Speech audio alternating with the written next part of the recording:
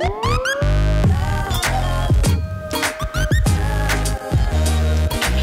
guys, for today's fun and easy tutorial, I'm going to start with Kevyn Aucoin Skin Enhancer mixed with a little bit of moisturizer. Next, I'm going to fill in my eyebrows with Brun eyeshadow from MAC. I typically start with the tail of my eyebrow where I concentrate the most product. As I move inward, I make sure to blend out the product so that my eyebrow isn't too harsh. Next, I go along the edge of my eyebrow with concealer and blend that out. Today I'm using Eyeshadow Insurance from Too Faced Cosmetics as my base. I'm going to start in my crease with Soft Brown from MAC. Next I'm going to go in with Saddle Eyeshadow on my lid and blend it into the crease. You can use any neutral tones that you like. With my black gel liner from MAC Cosmetics, I added a wing.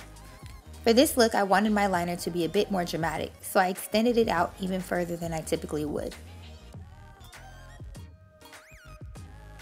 Periodically checking to make sure it's even, I did the same thing to the other side.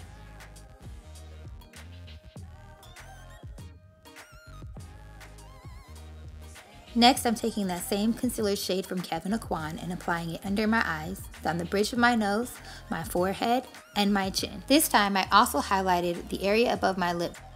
With the deeper shade, I added my contour.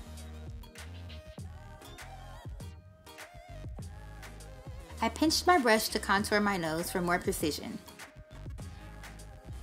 Then blend everything in with the Beauty Blender. First, I went over my contoured areas and then I went over my highlighted areas. Next, with Laura Mercier Translucent Setting Powder, I'm going to set the area under my eye as well as all of the other highlighted areas. I do not personally bake, I don't like the way that it finishes. But I do, however, like how it turns out when I simply press the powder into my skin. Here's a little tip for getting sharp lines with gel liner. Once you've applied the product to the brush, gently press both sides of the brush against the back of your hand. This is going to squeeze the bristles together and create a defined line. Line the outside half of your lower lash line. Also go back in to the inside corner of your eye and extend the line down.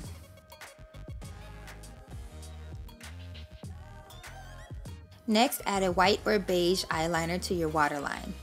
I like using this one from MAC. Add mascara to your bottom and top lashes.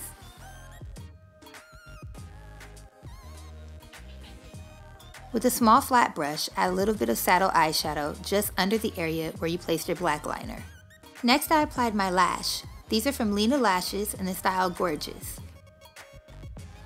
To darken my eyeliner and make it more pronounced, I traced it with this liquid eyeliner pen from Stila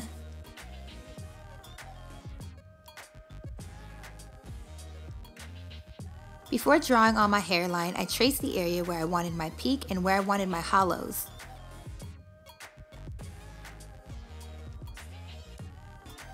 Then I connected each mark. This made it easier to draw the line and create symmetry. Next, with gel liner and a flat brush, I filled in the area. You can also use black paint if you have it. I made sure to put the product pretty deep into my hairline so that you couldn't see any lines of demarcation. With the fluff brush, I set the area with Carbon from MAC. Once again, I swept the eyeshadow deep into my hairline just so I can fill in any holes or gaps where you can see my scalp. Then I lightly dusted Mineralized Skin Finish powder all over my face. I used the Lorac Take Me to Tantego palette for my contour.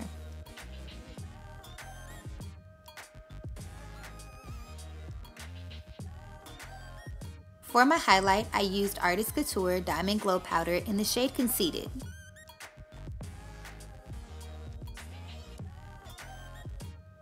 I applied it to my cheekbones, the bridge of my nose, the corners of my eyes, and my brow bone.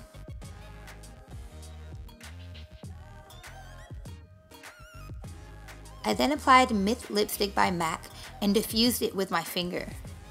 So I actually created this look two years ago for Halloween. When I did this look originally, I used the same lipstick with the intention of creating a pale lip. I also lined a portion of my top lip with the black eyeliner.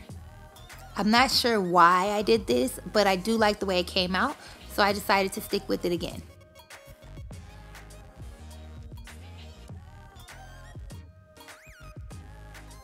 Next with the gel liner, I drew a half circle across the tip of my nose. This time I decided not to bring it completely around to the edges of my nostrils and just kind of really keep it concentrated on the actual tip of my nose. I filled in the entire area with the gel liner and then set it with my black eyeshadow. Next with my angled eyeliner brush and my gel liner, I drew on my whiskers. For this step, you really want to make sure to press the brush against the back of your hand like I showed you before so you can get your fine lines. I forgot that I previously wore lip liner with this look, so I went back in with Cork from MAC to line my lips and then added a little bit more Myth and blended it all in. I added a little bit more Diamond Glow powder to my shoulders and collarbone.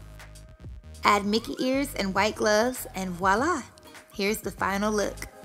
I hope you enjoyed this tutorial. If you did, go ahead and give me a thumbs up. I would love to see your recreation, so don't forget to tag me on Instagram. Thank you so much for watching. Until next time Oh boy. I look like a real cartoon now. what happened?